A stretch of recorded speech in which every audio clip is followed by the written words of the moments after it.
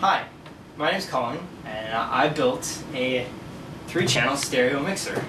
So, uh, I, a while ago I built an amplifier for my speakers, and um, I became very annoyed because I have a lot of different audio sources, like my computer or my iPod, and uh, I always had to keep pl plugging things in and unplugging them.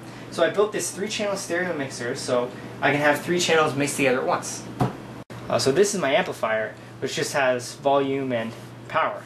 But um, this is my mixer. So it has a an analog VU meter, uh, which moves around to music, and um, it has a front port and two back ports uh, where you can plug things in, and it has uh, three volume knobs and mute switches, as well as left and right level sliders, and a power switch. Okay, so uh, I've got some music on my PC here. So when I play it, um, it comes out of the speakers and got my VU meter working. So it'll play like that.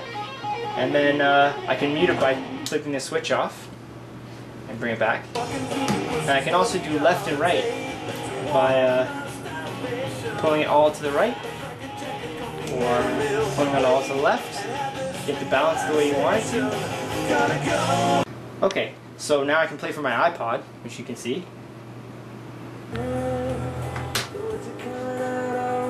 Oh, it also works, and it's got this. This is the iPod channel. This is the PC channel, and I can bring the PC back on and mix them together however I want.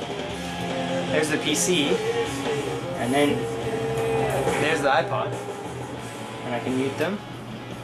So there's the PC, and there's the iPod. So that solves a lot of my problems. So thanks for watching.